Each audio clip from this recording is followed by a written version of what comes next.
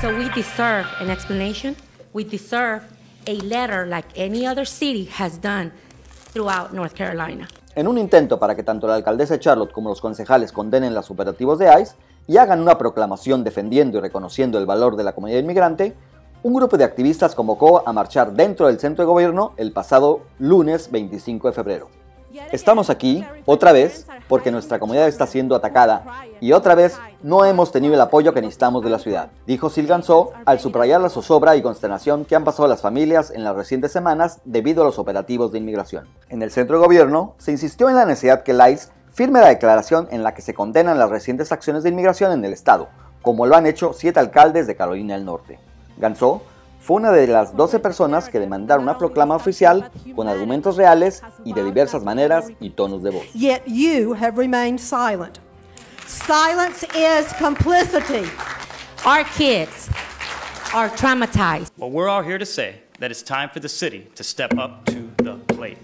Undocumented residents have paid over $277 million. There are over 34,000 construction workers in Mecklenburg County.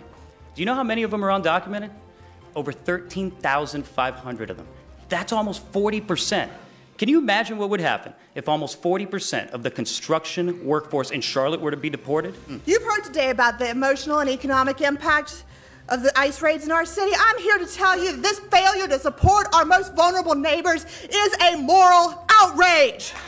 You're telling us there's nothing you can do. All you can do is hide. It has been weeks, weeks of the raids. We have begged for your help.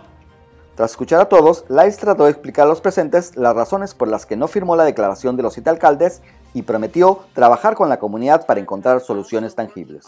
Respeto la carta que enviaron los siete alcaldes, pero al momento que esta carta llegó, yo ya había girado órdenes para crear el Comité de Inmigración, porque creí que esa era la mejor manera de abordar la situación que se estaba viviendo en la comunidad.